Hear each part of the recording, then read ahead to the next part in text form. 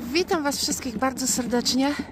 Wybraliśmy się z Edziem na spacer i tutaj jest nasza rzeczka, która przepływa przez wieś, kościół w pięknej scenerii zimowej i zobaczcie jak tutaj momentalnie wszystko pokryło się lodem, dosyć takim już grubym. Mamy tutaj ostatnie dni takie właśnie na minusie. Wczoraj rano było minus 14, dzisiaj minus 12 i momentalnie tutaj się to wszystko pokryło lodem. A gdzie to miedziu uciekł? Aha, rozmowa z kolegą. Witam. Znalazł się, porozmawiał z kolegą i idziemy teraz na pola. Tutaj obok nas jest nasze pierwsze pole. Tam zobaczcie jest droga, skąd żeśmy przyszli. Za lasem jest y, wioska za drogą, jest kawałek lasu i tutaj jest nasze pierwsze pole. I na środku tego pola kiedyś było jeziorko, taki stawik był. I później e, było ciężko obrabiać w koło, no i strata pola. I tak tata tutaj nawiózł ziemię, zasypał to oczko wodne, ten No, stawik. Zawieźli obydwoje. To już za ciebie było, tak? ja, mam, ja mam amnezję. Za... Ptaki. Lecą, krzyczą. Kruki się. Kruki się gonią się, kruki. Jeden goni drugiego. Pogoda jest fantastyczna. E, mamy tutaj mroz, żurawie. Nie wiem, czy słyszycie, kamera nie widać, ale lecą 2, 4, 6, 8, 10, 12, 14, 16 sztuk żurawi. I tak z kimś właśnie pisałam odnośnie żurawi i ktoś tam się dziwił, mówi, no przecież żurawie odlatują. U nas tutaj ostatnie lata, na naszym terenie tutaj w zachodniopomorskim, no nie odlatują, bo są cały czas te żurawie. Pogodę mamy fantastyczną. Ostatnie dni są z przymrozkami. Cała Polska się na Facebooku chwali, jakie to mają temperatury. Minus 20, minus 22 stopnie. U nas wczoraj rano było minus 14, dzisiaj minus 12. Także też mamy minus. Troszeczkę śniegu. W porównaniu z Polską nie ma się czym chwalić. Nie, w porównaniu z Polską to wypadamy mikro. Minus 12 do minus 20. Co to jest? Ktoś mi tam zaraz napisze. Co to jest? Śniegu mamy tyle, co widzicie, skąpo. Bardzo skąpo. No i jeżeli idzie o zboża, no to powiem, że jakby się takie temperatury utrzymały, a przyszły one z dnia na dzień, bo u nas tutaj było dosyć wysoko na plusie, ciepło, ciepło, ciepło, a potem no, w przeciągu kilku dni zrobiło się dosyć nisko na minusie. Nie ma pokrywy śnieżnej i zboża mogą przemarznąć w tym roku, jeżeli ta temperatura będzie się dłużej utrzymywała.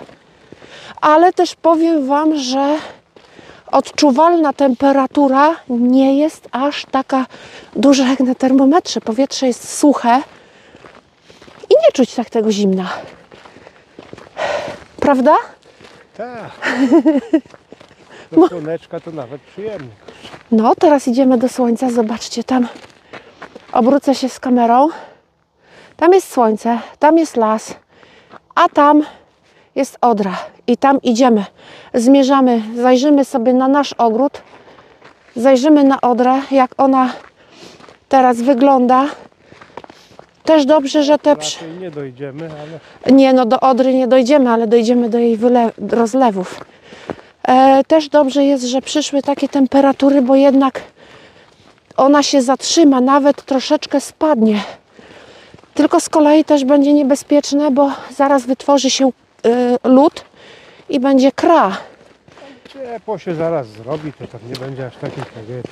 No tata opowiadał, to było gdzieś jakoś w 80 latach, w 80 roku e, w zimie, też tak gdzieś o tej porze, styczeń, luty, była były mrozy, Odra zamarzła i później szła kra.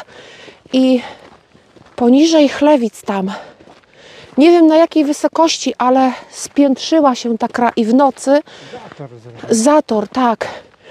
I w nocy ta woda się zaczęła podnosić. Tata jechał na akcję. Mówi, to była tragedia. Ciągniki zamarzały, nie można było ich odpalić. Ludzie krzyczeli, płakali tutaj w tych sąsiednich wioskach, Chlewice, Porzecze. Bydło wywozili, nagminnie wypuszczali to wszystko, żeby uciekało.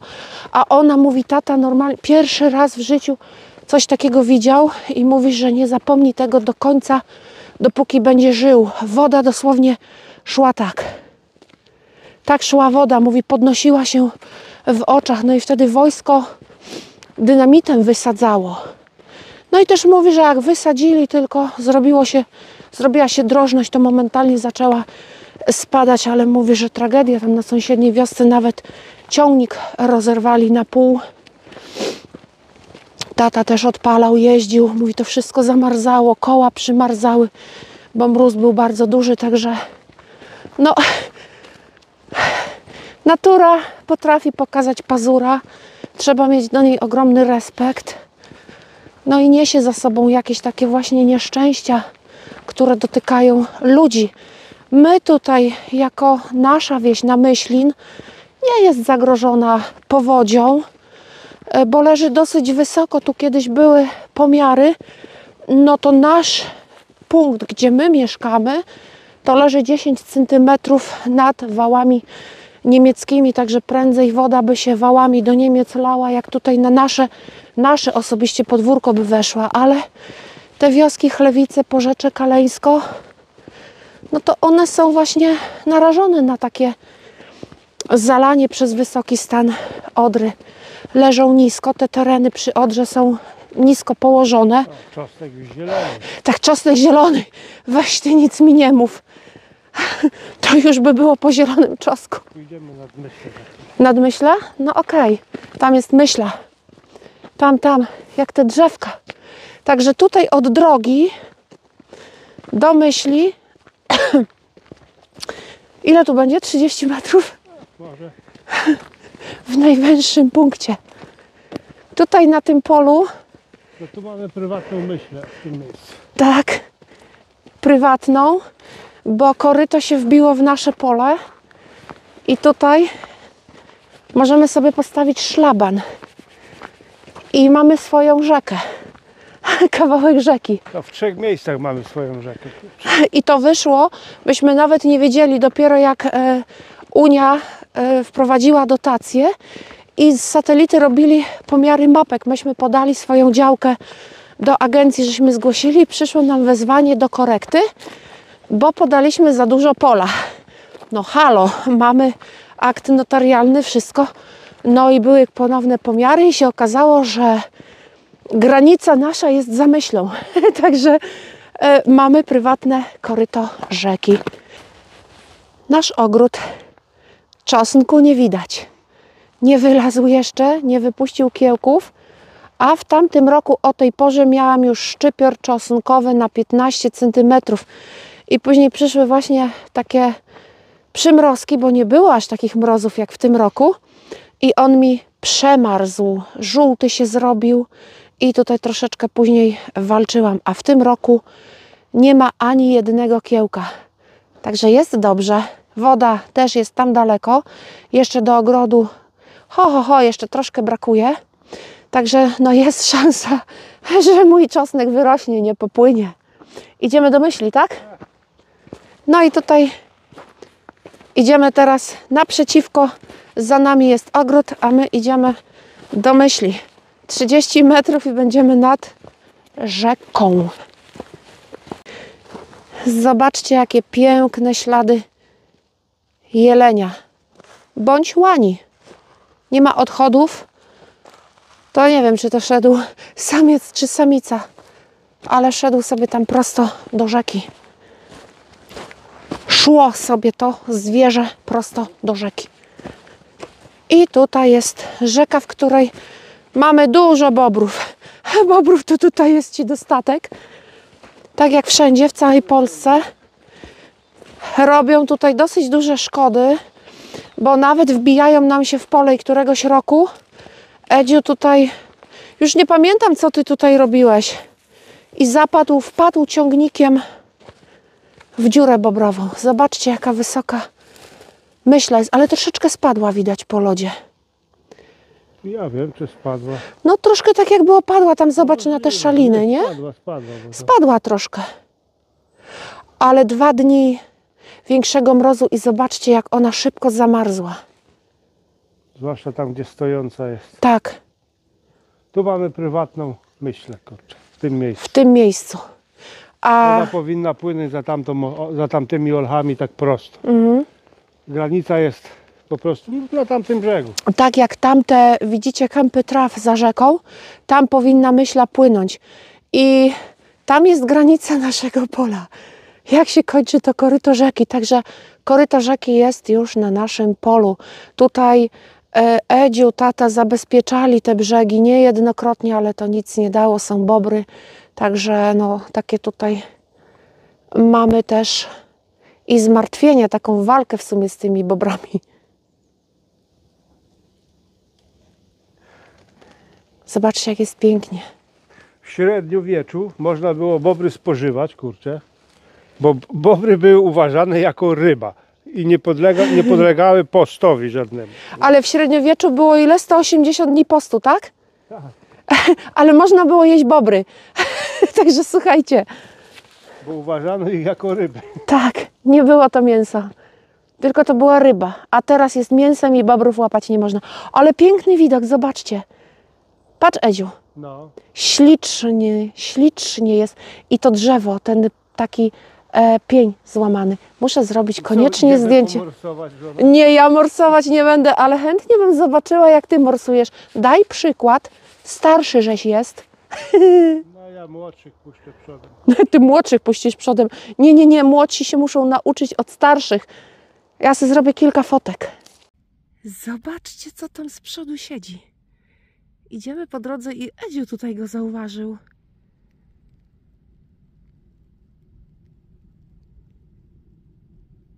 Zając. Siedzi jakieś 4 metry od nas.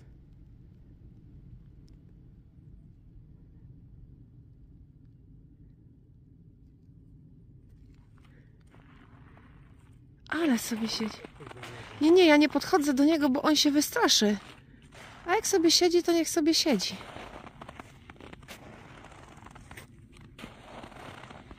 Jaki skulony. Zające.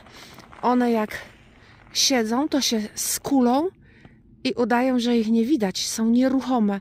Można je podejść dosłownie na pół metra, ale wtedy jak wysusują, kurczę spod nóg, jak rakieta. Ten też tutaj siedzi, bacznie nas obserwuje i jest gotowy w razie co do ucieczki. Nie będziemy mu tutaj przeszkadzać. My idziemy w swoją stronę, zajączek sobie zostanie. Zrobiłam mu kilka zdjęć i idziemy dalej. Może jeszcze uda nam się coś tutaj zobaczyć, a właściwie mężowi, bo to on wypatrzył tego zająca.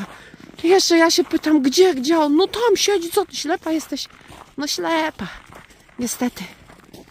Doszliśmy już do rozlewisk Odry i podniosła się ona dosyć sporo, mimo że teraz w ostatnich dniach, dzięki temu, że jest mróz, ona troszkę spada, to jednak od ostatniej naszej wizyty się podniosła. Tutaj to, co widać, to już jest rozlewisko Odry. Po tej stronie w lesie też jest woda. Tu jest ten las, w którym pokazywałam owoce dzikiej róży. Także Odra w górę poszła. Ale zobaczcie, jaki teraz widok jest. Kamera w życiu tego nie odda, ale zachodzi słońce. Słońce zachodzi na złoty kolor. Jest taka czerwona poświata. Prawdopodobnie na dniach będzie wiatr, bo jak zachodzi słońce w takim kolorze, to zwiastuje to rychłe wiatry. Teraz jest przepiękna pora. Po mrozie zawsze był, zawsze jest odwilż, tak? Tak, i deszcz. I musi dmuchać. I dmuchać.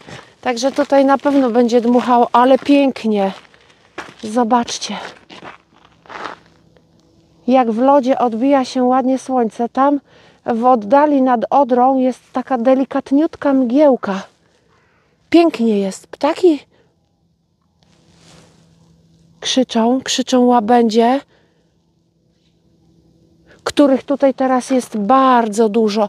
Teraz skuło trochę lodem, więc one przeniosły się, przemieściły się e, na nurt rzeki. Podejrzewam, że rzeka jeszcze jest drożna. Tak mówię do Edzia, że jeżeli tutaj nie przyjdzie gwałtowne teraz ocieplenie, to w niedzielę, jak będzie więcej czasu i taka fajna pogoda, to gdzieś bokiem trawami po, tym zamar- po tej zamarzniętej wodzie bym doszła tam sobie Albo Do łyżwy, Odry. łyżwy i drogą na łyżwach. albo łyżwy. Uuu, dupa byłaby sina. Nie umiem jeździć na łyżwach, aczkolwiek jak byłam dzieckiem, to na łyżwach jeździłam. A teraz to tylko rower i nogi. I No samochód. Jeden gips. On się śmieje, mówi chyba, że sama sobie pójdziesz do tej Odry. Ja mówię, dlaczego? Bo mi jeden gips wystarczy. A jest jeszcze tydzień. Za tydzień jedzie do kontroli. Jak będzie wszystko ok, to ściągną ten gipsik. A jak nie, no to zobaczymy. No i tutaj już jest stop. Ale spadła troszeczkę. No. Troszkę się cofnęła. no bo Zobaczcie. ta, to co tam jest, to się Zobaczcie. Aha. Kilka centymetrów to spadła. się przelało. I, woda się cofła tutaj mimo wszystko. Jakie widoki piękne. Hehehe. Mężu, ślisko. Ty naprawdę się do co? Nie starczy ci jeden gips? Nie, no jakby tu, jakby tu były łyżwy, tu jest, nie ma dużo, to tam jest do, na bank do spodu zamarznięte. No tak. Jest lód gruby, to by kurde prześmigałby raz dwa. Tutaj bokiem też by my prześmigali do Odry. Ale dzisiaj już jest za późno, słońce już się chyli, także zanim wrócimy do domu, to już tutaj i tak będzie ciemno, bo do domu mamy kilka kilometrów. No trzy. Trzy jakoś będzie. Zrobiliśmy dzisiaj ładną trasę. Kupę kilometrów żeśmy nabili, bo obeszliśmy aż tam. Ale fajnie jest. Ale cudnie to. Pięknie teraz. jest. Ja przełączę kamerę. Widać, Zobaczcie teraz. Yy, słabiutko, ale widać jak dwa samoloty lecą. Za chwileczkę się miną i na tle tego zachodzącego słońca tutaj jest woda zamarznięta. Lód. Mówię woda zamarznięta w postaci lodu. ale jest pięknie. Ale jak się tak patrzy na to słońce, takie fale odchodzą się od słońca na Mhm. boki.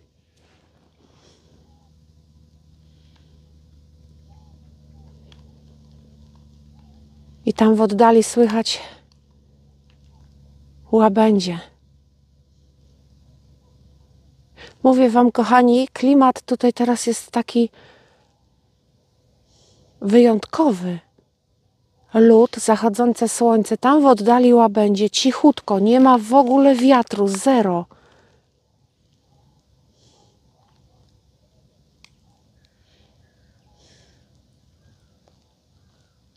Pięknie jest.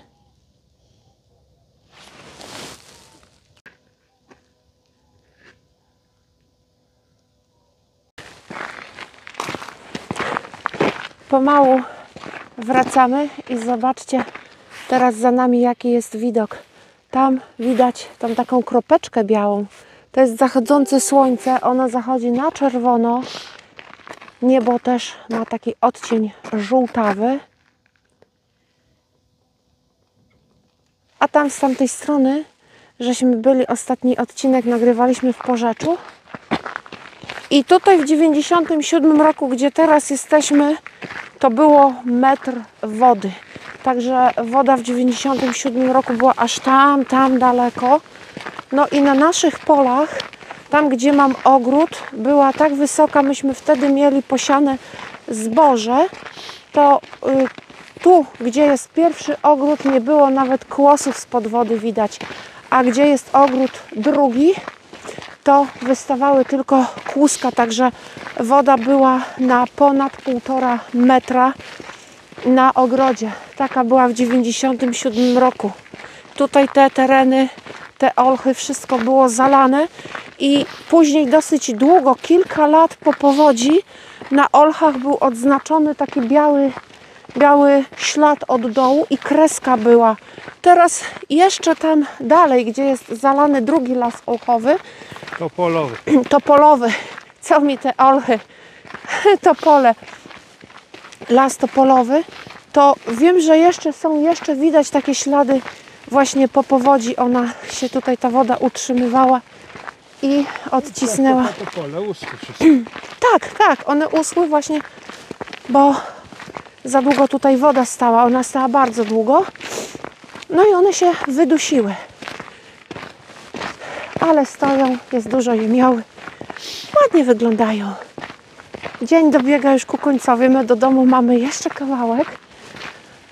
Także tutaj za chwileczkę kroku sobie wytężymy. No i co? Będziemy się z Wami żegnać. I słuchajcie, wychodźcie do lasu, wychodźcie na świeże powietrze, bo teraz ono w zimie, gdzie są mrozy, jest bardzo czyste. E, Trzeba się oczywiście ubrać odpowiednio, żeby się nie poodmrażać, ale jest udowodnione, nawet lekarze apelują, że pół godziny spaceru dziennie w lesie e, pozwala człowiekowi, który ma problemy z sercem, z krążeniem, z nadciśnieniem, e, lepiej funkcjonować. Także warto, warto i jeszcze raz e, warto. No i te widoki, to powietrze. Ale teraz jest powietrze niesamowite, jak właśnie dzień już się chyli ku zachodowi. Czuć taką, ja nawet nie wiem jak to nazwać, i wodę, i ziemię, i las. No To i, I czuć jak gile marzną w nocy. mi jeszcze nic nie marznie.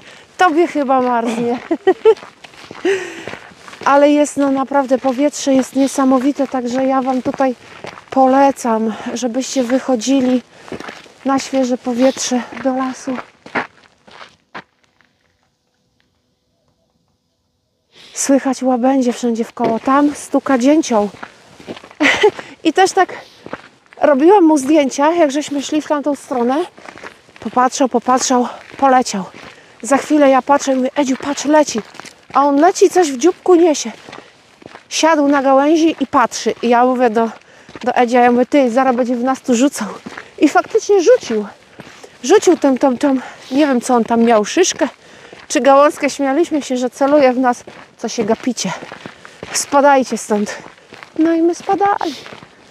Spadali my. A dzięcioł został i dalej tam stuka. Życzę Wam, kochani, zdrowia. Do następnego. Co? Zamarznięte ślady. Wilk. Zobaczcie, jaki piękny trop wilka. I szedł sobie prościuteńko. Ale jeden chyba jest, tak? No przynajmniej tutaj jednego widać. Nie jest to osobnik aż taki duży, raczej średniej wielkości. Jak prościutko, ale jakie pazury odciśnięte, zobaczcie. Piękny trop. Ten jaki śliczny. Ja jeszcze przed mrozami tędy szedł. No ja bym się tak, Edziu się tu śmieje, ty byś się żona przewróciła tu na nich i nie, nie zobaczyła. No nie, no faktycznie ja patrzę po drzewach, a mąż patrzy po ziemi. Tu zobaczcie jaki ładny widok, jak ta woda się pięknie tutaj e, zamarzając rozwarstwiła powietrze. Tam w środku to białe to jest powietrze niewypchane. Patrzcie. O, widać ile woda spadła. Tak, tyle woda spadła, widać. A wilk poszedł sobie tam, w las.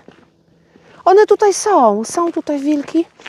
E, I gdybyśmy tak tutaj może posiedzieli cicho, to albo byśmy wilka zobaczyli, albo prędzej zamarzli. Z tobą cicho posiedzieć się nie da. Jak to się ze mną nie da cicho posiedzieć? Co ty mnie tutaj insynuujesz? Żarty ci się trzymają. Ale chciałabym. Ja wcale nie żartuję, ja to z pełną powagą mówię. Policzymy się zaraz poza wizją, a my idziemy tam, do przodu. Tam wiedzie nasza droga. Może jeszcze gdzieś uda się teraz wieczorem e, zobaczyć przemykającego wilka.